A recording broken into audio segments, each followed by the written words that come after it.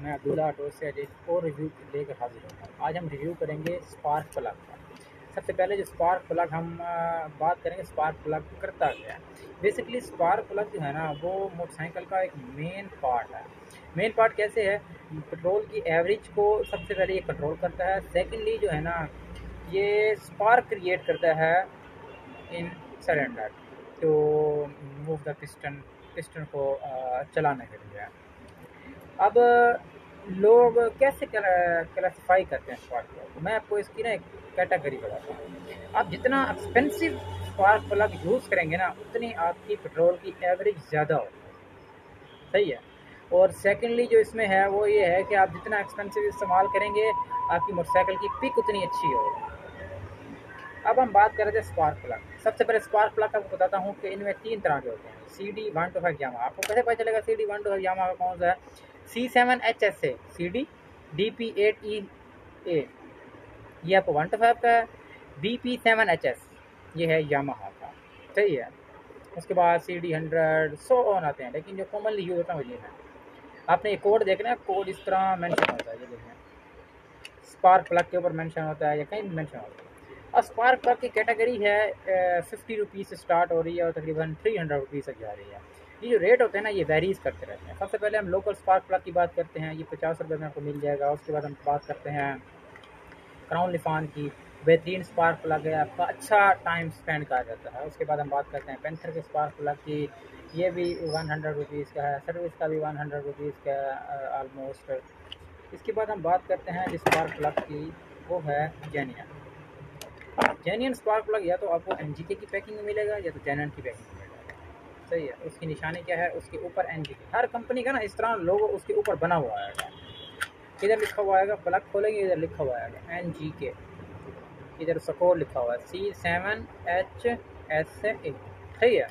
हर company का इस तरह बना हुआ आएगा तो मैंने प्राइस रेंज आपको बता दी है। पचास रुपये से स्टार्ट हो रहे हैं। पचास रुपये अस्सी रुपये लिफान का अस्सी रुपये इसके बाद जो है ना पैंथर का मिल जाएगा वो सौ का मिल जाएगा, वो भी अस्सी रुपये का मिल जाएगा सर्विस का भी अस्सी सौ उसके बाद हम बात करते हैं वन टू फाइव का वन टू फाइव के प्लग में जो नॉर्मल प्लग आता है वो चाइना का, वो तकरीबन अस्सी रुपये का आता है। वन टू फाइव का प्लग का कोड क्या है? D P E A eight E A इसकी क्वालिटी इसकी थिकनेस बहुत ज़्यादा मैटर करती है। देखें ना आप स्पार्क प्लग को चेक कैसे करते हैं? आप इसको जो है ना प्लग होल्डर में लगाएँ, उसके बाद ना इसे प्लास से इधर से पकड़ लें, इस जगह पे। उसके बाद आप गाड़ी को स्टार्ट करें। सही है? ये जो लाइन है ना, ये लाइन करंट निकल के सिर्फ़ इस लाइन को टच करे, फिर तो सही है। अगर करंट जो है ना, वो आपका मिस मैच करे करंट आगे पीछे हो लाइक करंट यहाँ से निकल के इधर आ रहा है, इधर आ रहा है, फिर स्पार्क प्लग आपका ख़राब है। ये वाइट क्यों होता है? स्पार्क प्लग इस जगह से वाइट जब आप ट्यूनिंग करवाते हैं तो आपको दिखाते होंगे इस जगह से वाइट ब्लैक वाइट होता है कि आपके पेट्रोल की एवरेज बिल्कुल परफेक्ट है। कोई बीच में कोई मसला मसाइल नहीं है। अगर आपका ब्लैक है, इसका मतलब है कि पेट्रोल की एवरेज में उन्नीस बीस फ़र्क है। बिल्कुल एक जला वो ब्लैक होता है, वो फिर आपका जो है ना प्लग खिस हम बात करते हैं एनजी के प्लग की और सर इसमें जो होता है कि आप अक्सर होगा मार्केट में जाना तो एनजी के प्लग नहीं है। प्लग सॉरी तो फिर हम क्या करते हैं? हम जेनियन प्लग ले लेते हैं। तो जेनियन प्लग भी इसी तरह ही है, वो इसी प्राइस रेंज में आता है।